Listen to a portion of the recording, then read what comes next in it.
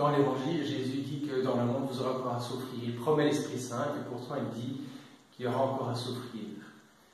Alors c'est étonnant, parce qu'on n'arrive pas à mettre les deux choses ensemble. D'un côté, le fait que Dieu donne son, son Esprit Saint, qui nous sauve vraiment, qui nous rend justes, et de l'autre côté, euh, cette souffrance qui nous accompagne. C'est parce que être chrétien, c'est être conformé à Jésus, aussi dans la souffrance.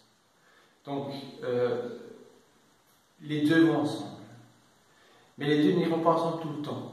Puisque pour quelqu'un qui justement meurt avec Jésus, dans l'union à Dieu profondément, euh, eh bien, il parvient, peut-être pas tout de suite, mais en tout cas, il parvient à cette joie en plénitude dont parle le psaume.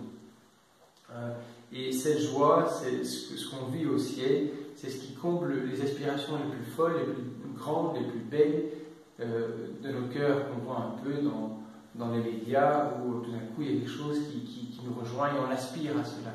Mais le ciel, ce sera cela décuplé.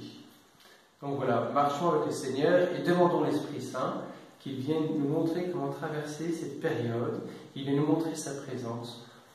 Voilà. Je vous souhaite une belle journée.